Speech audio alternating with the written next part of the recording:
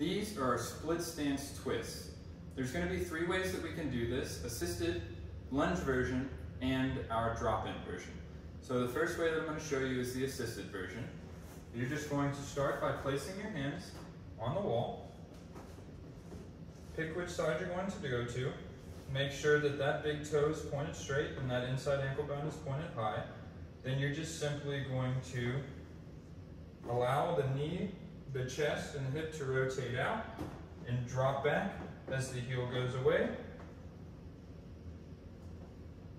Letting the weight be on the outside of the foot. That's our assisted version.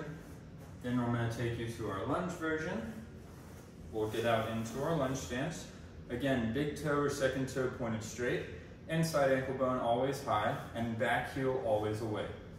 Then we're going to bring our head over our foot as we rotate deeper into the hip. You should feel the stretch into the glute. Allow the kneecap to rotate out and allow the weight to travel on the outside of the foot. Keep the gaze up and simply just rotate into that lunge.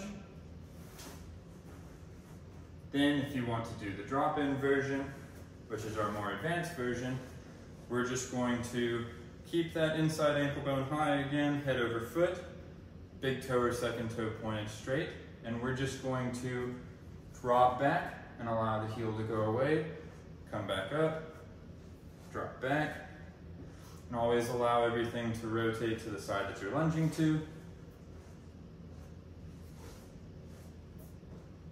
Those are our split stance twists.